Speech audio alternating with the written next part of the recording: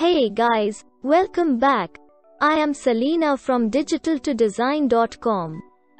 In this video, I will show you how to remove vocals from a song.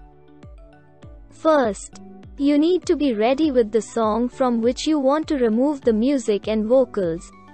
Then, go to your browser and open this website. I added this website link in this video description. After watching this video, click on the link below. Once you reach this website, click on the Browse My Files button. Then upload your song from your computer which you want to remove vocals or music. Then wait until the uploading process is complete.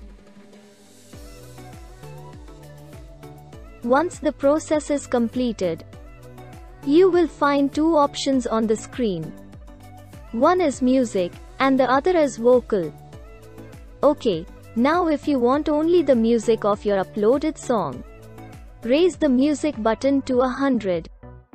And then mute the vocal button to 0. Now click on the play button.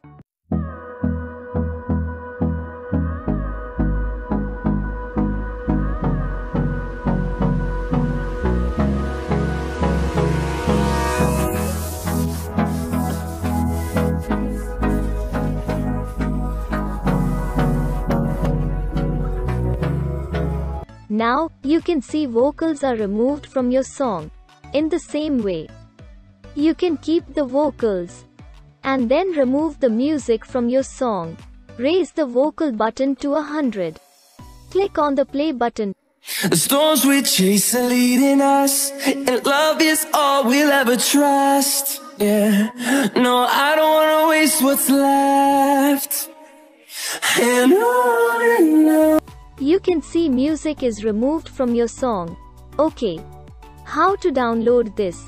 Go to the bottom, choose the format and then click on save. Now I want music only. This is music without any vocals.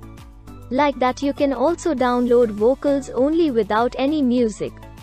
Okay, this is how you can remove vocals or music from any song. I hope you like this video. Don't forget to subscribe to Digital 2 Design. Finally, thanks for watching.